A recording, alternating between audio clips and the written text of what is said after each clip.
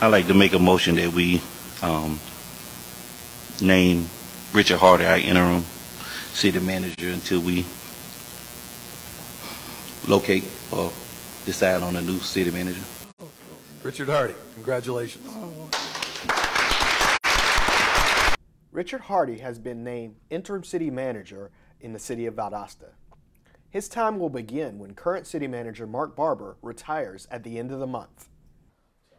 It's an honor, you know, for the uh, city leadership, you know, city council to have the faith and confidence to nominate me uh, to fill in until we, uh, till they identify a permanent uh, city manager. So it's an honor.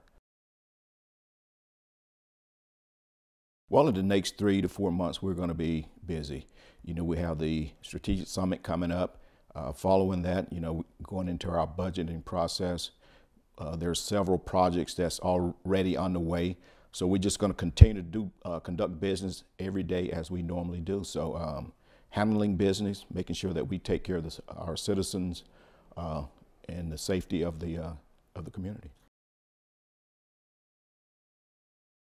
I had the opportunity to work with uh, Mark Barber for the last, you know, five years. Uh, so uh, working with him, uh, working on the budget, watching him. Uh, so he's he's been a great mentor. So, you know, uh,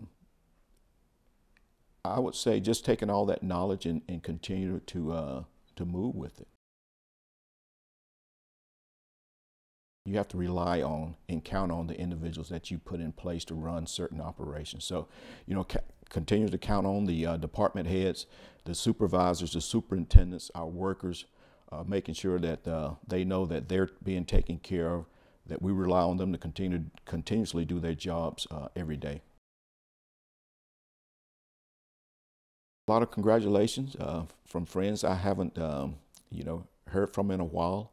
Um, so you know, with you know, with Facebook, with the announcement the city made through the Facebook uh, connections, just uh, uh, a lot of friends excited. You know, the military base. I retired from the military, so a lot of my uh, military friends reached out, and the same with the family. Everyone is excited. So, you know, uh, excitement with me, but I know that I have big shoes to fill and a lot of challenges out there.